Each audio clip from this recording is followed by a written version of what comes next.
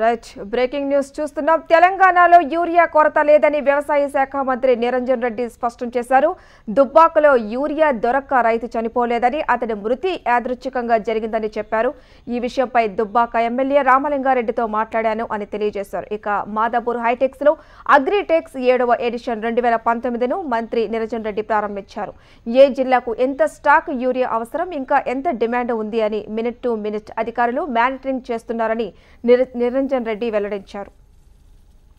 వస్తే ఇది మొత్తం రాష్ట్ర వ్యాప్తంగా ఉందనేటువంటి భ్రమకు లేదా భయానికి రైతాంగం గురి కావద్దు. ఇది మొట్టమొదటి నేను చేస్తున్నటువంటి విజ్ఞప్తి.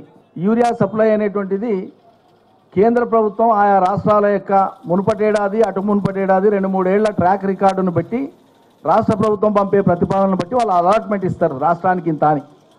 మనకిచ్చినటువంటి అలాట్మెంటు రెండు రకాలుగా వస్తుంది. ఒకటి ఈ దేశంలో యూరియా కంపెనీలలో తయారయ్యేటువంటిది ఉత్తర భారతదేశంలోకి వెళ్ళి రావాలి.